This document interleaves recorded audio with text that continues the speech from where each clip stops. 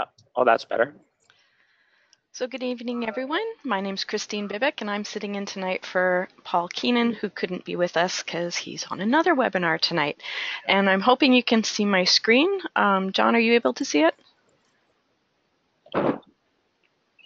Uh, yes, I can see the screen. Great. Um, so as you can see, tonight's topic is FRC cheat sheet. So it's tips for teams. And we have with us tonight our special guest, John Hobbins, who is the director for First Robotics Canada, so looking after all those teams here in Ontario and helping out across the the whole country. So, John, tonight you want to share with us some tips that you've gathered, um, and I know I'm anxious to hear about them. So, we'll start off with our first slide here. Um, how to play the game. So, um, do you want to do you want me to read these points or would you like to comment on them? I should also add that John is traveling with us because he was visiting teams and school boards today in the Windsor area, so he's currently traveling by train, so his internet might be spotty. So um, if we lose him, we'll know what's going on. Okay, so John, how to play the game?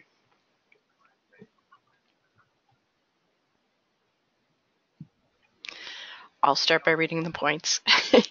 um, ramps and climbing on robots. So we've got a few points here. Um, it's hard for the driver to see the robot when you want. Um, and do you want to comment on that, John? Yes. Uh, hi, Chris. I can't hear you very well. Can you um, try your volume? Calling through. Yeah, it's almost impossible to hear you. It's like a whisper.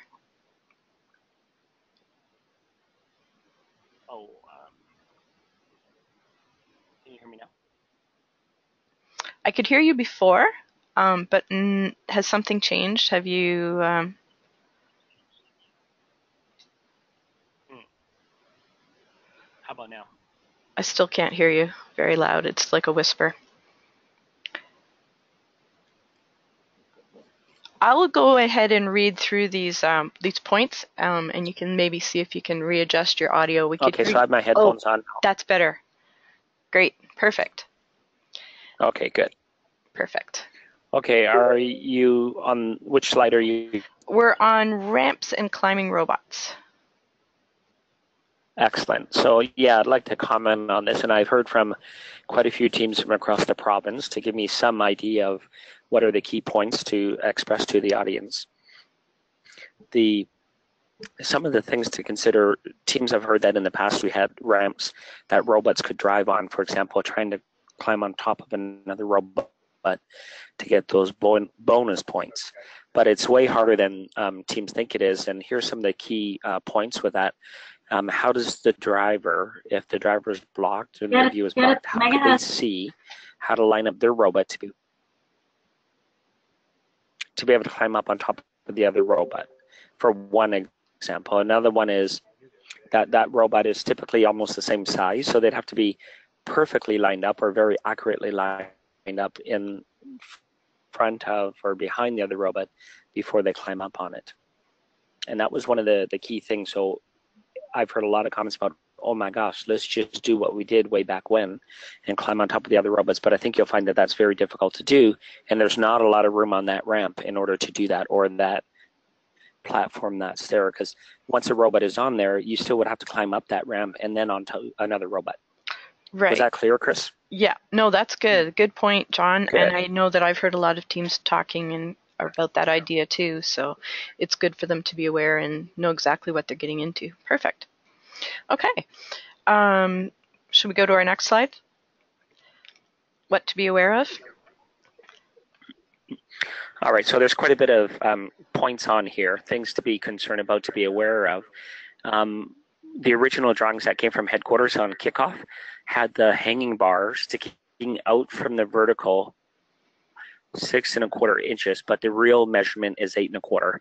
And we were very fortunate that some teams were able to find out that uh, they weren't able to do it uh, when they were going by the six and a quarter measurement. And so they actually figured it out and informed headquarters that that measurement must be wrong. So headquarters has confirmed it's eight and a quarters out from that vertical wall. That's how much gap that that round bar is out from the wall. Okay, great. RNG or random number generation refers to the, yeah, it, it refers to that piece where you don't know exactly which of the um, switches will be lit up that you'll be able to score in. That's going to be somewhat random. And some people are wondering if that might be an advantage or disadvantage to certain teams. It's possibly that that could ha- happen, but that is just a part of the game and we'll have to deal with it as it happens. Okay. Okay. Um, again, um, you know, being aware of that point previously about um, relying on an alliance partner. If you build a ramp on your robot, uh, you're relying on the other people to be able to get up on top of your robot, and that becomes very difficult to do. We had some very large ramps uh, a few years back, and I can tell you that it's nowhere near as easy as you think it is. Um, and the whole idea of if once you do get up onto another robot, are you able to stay there? Is the robot able to elevate you to a point where you're 12 inches or higher off the ground?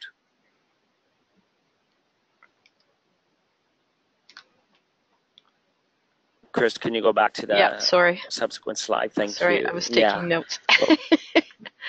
Okay, Uh, sorry, and here we go. back up one more, sorry. One more?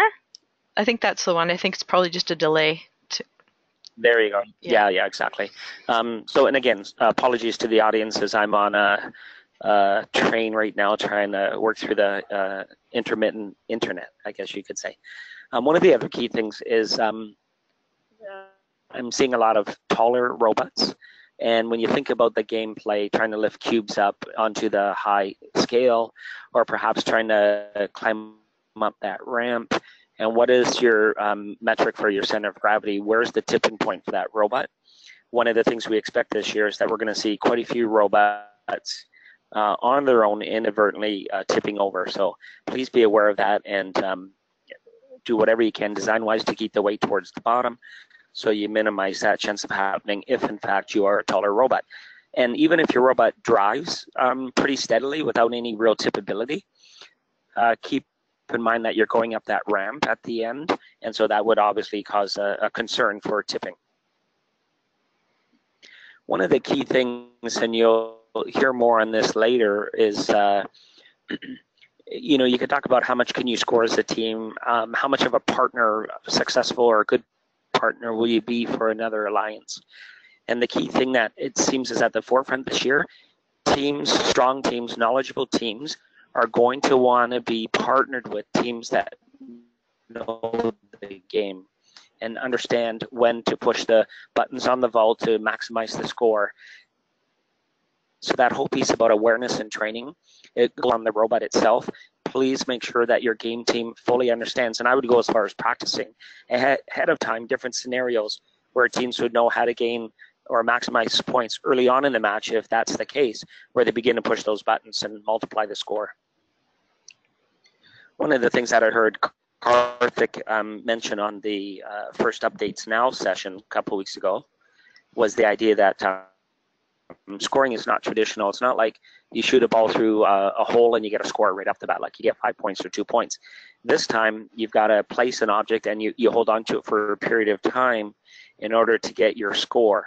So that's really quite a bit different. It takes a lot more thought process behind. So in a way, it's a game of strategy this year to a very large degree. And Chris, a really uh, important point here about HDPE or the material that the ramp uh, has on top of it. So imagine Lexan or plexiglass, for example. Um, I've researched this material, and one of the key descriptors of that material is it says it has a very low coefficient of friction. Huh. Basically, you can assume that it's pretty slippery. So, So are you, are you thinking it's going to be slipperier than Yeah, a Lexan sheet, for example? Or do you know how it compares to Lexan, just to give us an idea? Yeah, it, it's it's pretty much. I'm saying Lexan just because it's it's like that. But uh, anybody could research those uh, that acronym, and they'll see that it's a, a slippery material. Imagine, um, you know, like a classroom chair. That's um, that plasticky material that, in itself, if you were to drag a set of keys across it, you could imagine how slippery that is. Right. Okay. Is similar to what you're going to experience when you're trying to climb the ramp. Now, what that means is, uh, it might give you some direction on how to design your robot on what wheel type to use. So it's not my job to tell you what wheels to use, but obviously you're not going to want to use a very hard wheel um, because that hard wheel is going to just spin on that slippery surface. Right. And um, the other piece that goes with that is the idea of, well, what size are my wheels and where do I wheels? If you have, um, um, Chris, I'm not sure if you, you're aware how much of the audience knows that that ramp is at least three and a half inches high. Yes, so you that mentioned means that, that last week. if your robot frame is sitting any lower than say, roughly, yeah, two and a half to two inches clearance, you're going to potentially have a problem of bottoming out or getting stuck on that ramp. Plus, you And we have saw your, that a few years ago with a much well, lower right? ramp. So I would suspect that that exactly, yeah, the bumper piece in itself. Okay. I think we have some lag between the two of us, but I'm sure so we'll it's not- figure we're it not saying that. yeah.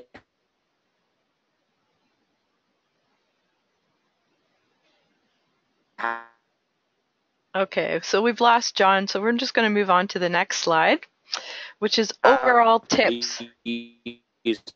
Sorry, John, we're having a hard time hearing you. eight inch wheels. There's uh,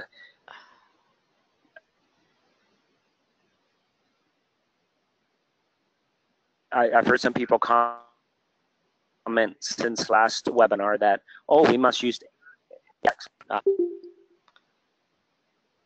boy, Yeah, John, we're we're we're losing you. You're Uh, cutting in and out. So could you summarize that again about the eight-inch wheels?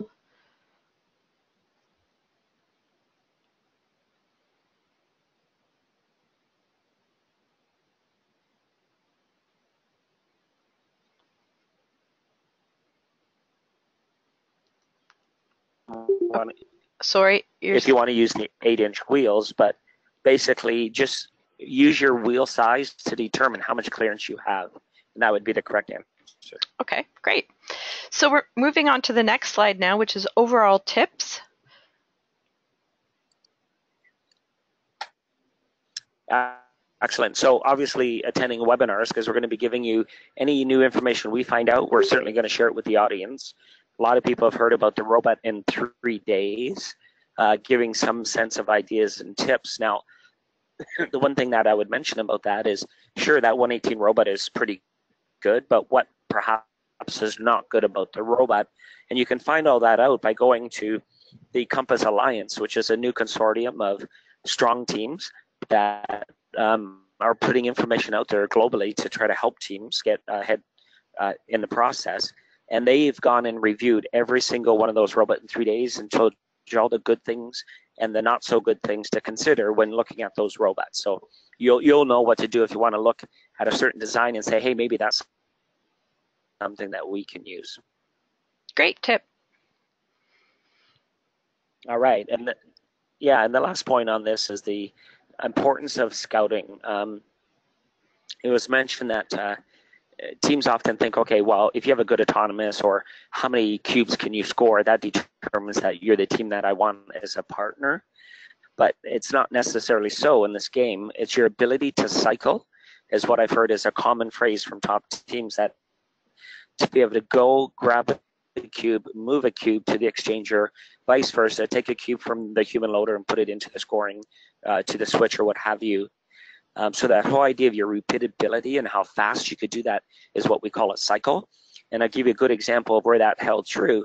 2013, when Canada won the World Championships, there were three cyclers that got together that really didn't try to hang. You know, there was a real high 15 points for hanging high. Those three did not even try to hang high. They hung at the lowest level possible, um, but they did that repeated cycle very quickly, and that was enough to win them the world championship, even against teams that could score um, by going up and climbing up to the top of the pyramid. So a very important point for you to think about. Right. And So, really, it speaks to consistency and repeatability in terms of doing uh, some of the basic elements of the game, and that's what usually leads to the type of robot that a strong team's going to want to pick as their lines partner. Right. I, I, guess the other thing I'd like to add to that little bit All right, too. Chris, that's it for this slide. Yeah, I'd like to just add to that, John, that um, I think it's important when scouting to also note um, that there's an, a the value of teams that maybe can slow down that cycle. Um, they might not be, you might not be seeing them scoring as high, but if there is a value in in potentially slowing down the other alliances cycling time. Um, so that might be something you might want to consider looking at too when you're doing your scouting. And uh, I think we had skipped over the Chief Delphi point, John.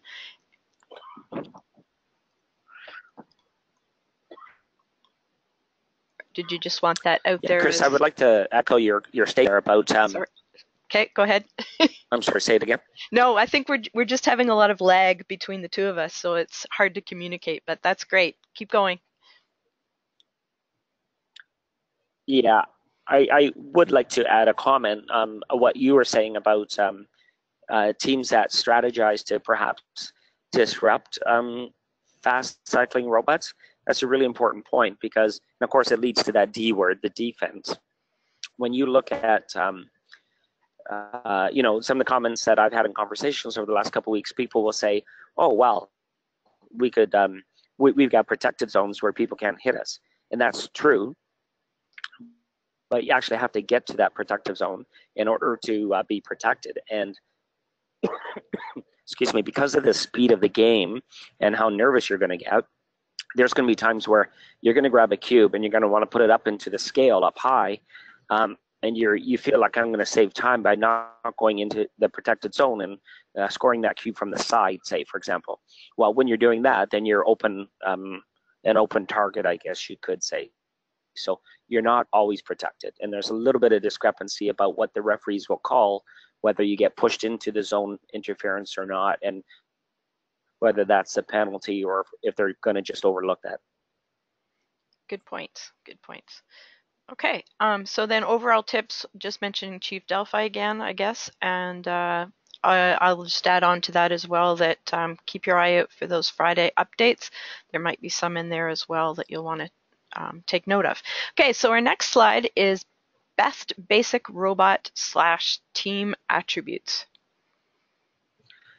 Sure. So what this one is, this is basically a, a summary that tells you if you weren't sure what to do, you, you really didn't have the the full range plan of what that robot's going to look like exactly, and you really want to get a robot that's going to be successful. So when you ask what are the attributes of a successful robot in this game, and certainly one that is going to be attractive to teams that place high, say for example. So obviously, no matter I, I believe, and this is just my personal opinion, no matter how good your robot is, if you don't understand the game and how to play, teams are going to have a hard time choosing you for an alliance partner just because you don't know what you're doing in terms of when to push the buttons and how to score and how long to hold on to different um, scoring objects. Secondly, um, those fast cycle times that we talked about, just your ability to move around the floor fast, which would be a good example of the 118 robot and how uh, quickly they demonstrated they could move cubes around that floor. Um, very simple, getting cubes to be able to be loaded into that vault, get that vault full, and um, leverage those points that you would have in there. Very simple as the autonomous to get across that line for five points. So when you think about that, if you there, I would say on average, um, and Chris, tell me what you think about this. On average, there might be 30% or more teams that don't have an autonomous. They don't move forward to go across that line. And realistically, that's a very uh, easy code to develop. And if you are struggling with that, ask around, ask a veteran team if they could help give you a code that would get you to be able to just move forward across that line for the five points in the autonomous mode. And then, so you're able to do that. And then the last piece is at the end of the match, climbing this the ramp. Uh, not, I'm not saying hanging. I'm just saying get up that ramp so all the robots are there and you get the bonus five points across each team. Right. So those are the basic attributes of what basically that 118 is. Good points. I really like these, John. They're great. Okay, our next slide. Win factor. Yes.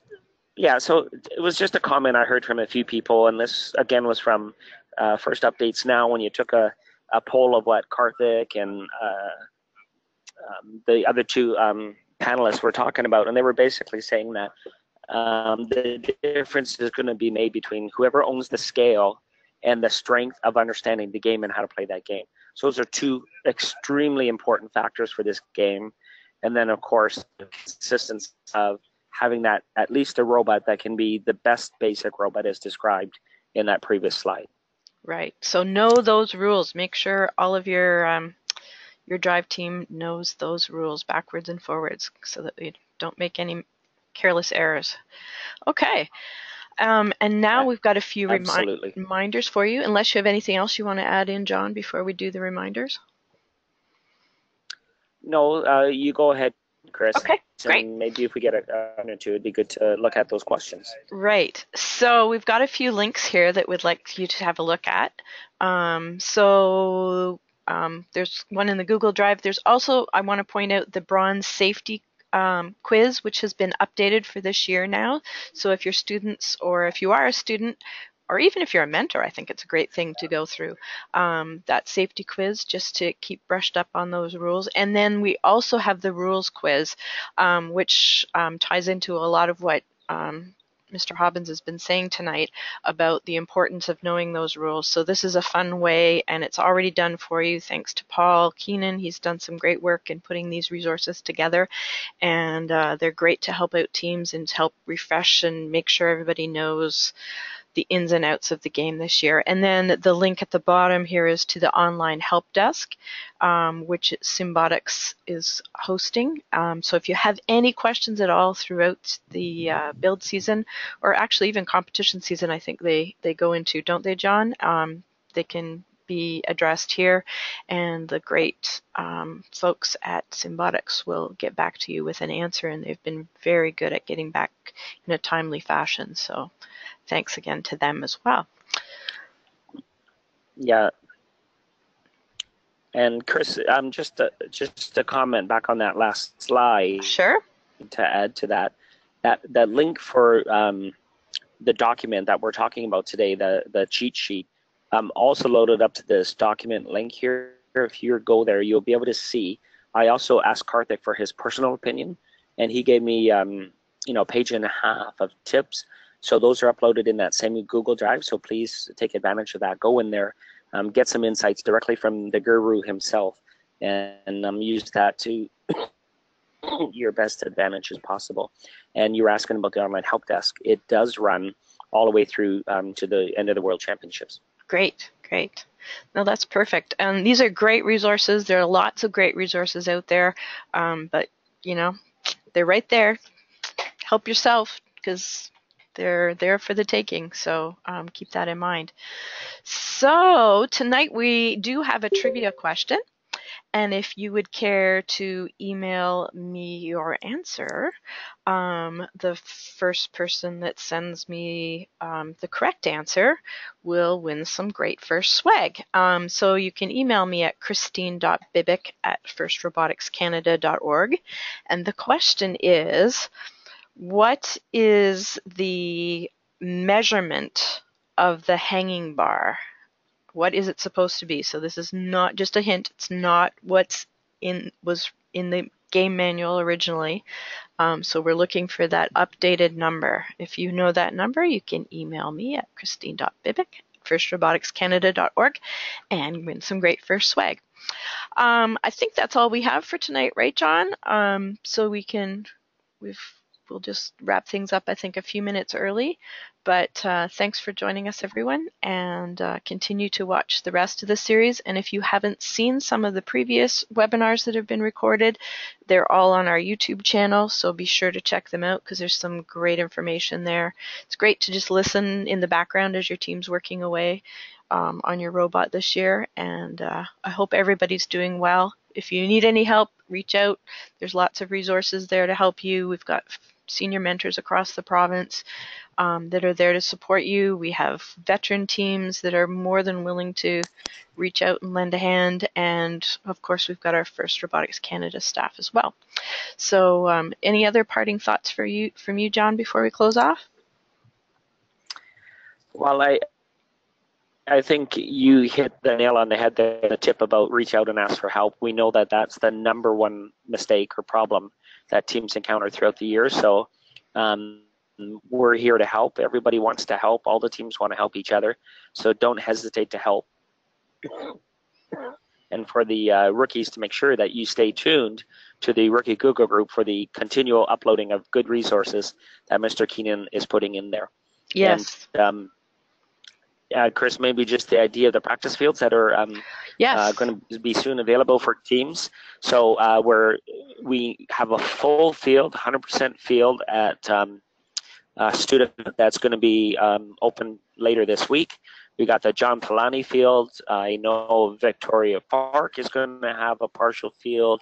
Hamilton's got a field, and Team 1114 has a field, amongst the other people that do too. So if you do don't know who to contact, then contact Chris or myself or Paul, and we'll certainly put you in touch with the right people so that you get the best benefit possible. Even if you don't have a robot ready, I would still encourage you to try to go, go to practice field. Um, last week at John Polanyi, we had a robot in three days scoring cubes um, in the switch and the scale. And I can tell you, it's not as easy as you might think it is. And so just being there, watching? Watching sort of in person. we're we're hearing you in a slow motion sort of uh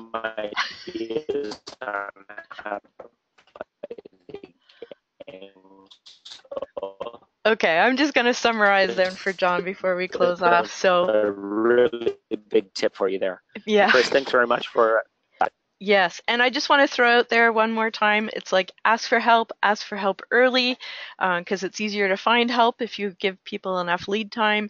And by all means, make use of those practice fields because they're so valuable, that experience. Even if you can only make it out for a few hours before bag and tag, it's well worth the effort. Um, the, the experience that your team will get. So, uh, thanks again, everybody, and join us again next week. Take care.